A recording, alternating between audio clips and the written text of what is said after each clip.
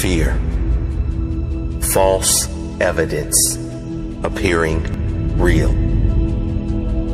Being afraid of something that has not yet happened and may never happen based on past thoughts, beliefs, and conditioning. Throughout this world, there lives only two kinds of people those who have conquered their fears and those who are living their fears. Those who are living their fears and those who are living their dreams because they had the courage to take on their fears.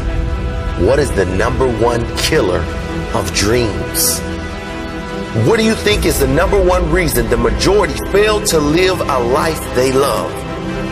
What is the number one reason why people fail to succeed at any level? It's not luck. It's not lack of money or opportunity. It's certainly not circumstance. It's fear. Fear is the greatest killer of dreams that ever roamed planet Earth. Fear is that voice inside you that says you can't. The voice that gets louder and stronger every time you listen. Every time you let fear dictate your decision, fear grows stronger. Fear grows bigger. Fear is the voice of average, the voice of the settler. Fear must die. Fear will die. The only way you can change is to step right into your fear. You must step right into fear.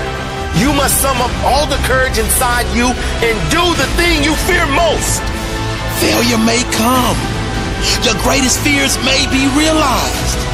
And that is why you go in with the attitude that you will do whatever it takes to conquer that fear. No matter how many times I fail, no matter how many times I feel rejected, embarrassed, down, out, I will not give up. I will keep at it until my greatest fear dies. I will stand toe to toe with fear.